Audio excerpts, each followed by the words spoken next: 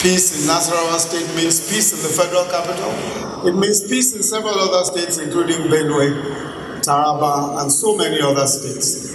Only responsible, selfless, and mature leadership can even be entrusted with the safety and with the destinies of all other people men, women, and children for whom you and I are responsible before God.